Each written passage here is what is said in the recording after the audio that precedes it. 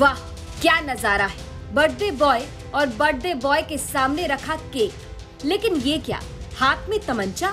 तो गुरु इन लौंडो को केक काटने के लिए चाकू की ज़रूरत नहीं पड़ती। दबंगई का जुनून ऐसा सर पर सवार है कि तमंचे से ही केक काट दिया। महोबा का वीडियो सोशल मीडिया पर जमकर वायरल है, जहाँ देसी तमंचे से केक काटकर जन्मदिन मनाया जा रहा है। ये दबंग सिर्फ़ तमंचे से केक काट ही नहीं रहे हैं, बल्कि तमंचे की नाल से एक दूसरे को केक खिला भी रहे हैं।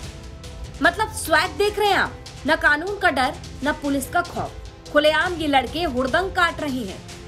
श्रीनगर कोतवाली की कस्बे का ये पूरा मामला है, जहाँ रात के समय लड़कों ने बर्थडे पार्टी मनाई, लेकिन ये कोई आम पार्टी नहीं थी।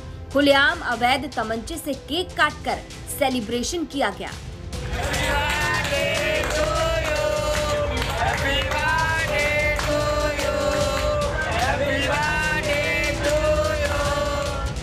केक काटने के बाद बारी बारी से तमंचे की नाल से सभी दोस्तों को केक खिलाया गया।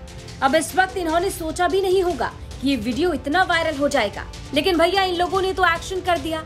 अब बारी थी पुलिस के रिएक्शन की। ये वीडियो जैसे ही वायरल हुआ, पुलिस ने मामले का संज्ञान लिया। एसपी अपर्णा गुप्ता ने आरोपियों पर कार्रवाई के निर्देश दिए जिसके बाद श्रीनगर कोतवाली प्रभारी गणेश कुमार ने बताया कि वीडियो की जाँच करने के बाद अवैध तमंचे से केक काटकर बर्थडे पार्टी मनाने वाले तीन लोगों को गिरफ़्तार कर लिया गया है। इस मामले में पुलिस ने ऋषभ गुप्ता लोकेंद्र प्रताप सिंह और धीरेन्द्र को गिरफ़्तार कर लिया है। वहीं मोनू पांडे मोन्टू और विक्स गौड़ अभी फरार हैं, जिनकी गिरफ्तारी के लिए पुलिस लगातार दबिश दे रही है। तस्वीरें देखिए जरा। पहली तस्वीर एकदम दबंग टाइप। किसी का डर नहीं, किसी का खौफ नहीं। जो मन में आया, वो किया। हाथ में तमंचा लहराया और भौकाल काट दिया। लेकिन दूसरी तस्वीर में मौजूदा हालात देखिए। टशन दिखाने वालों की पुलिस ने हवा निकाल दी और अब हवालात की हवा खा रहे हैं। ये दो तस्वीरें ये बताने के लिए काफ़ी हैं कि भैया ये उत्तर प्रदेश है। यहाँ भौकाल काटोगे तो रगड़ दिए जाओगे।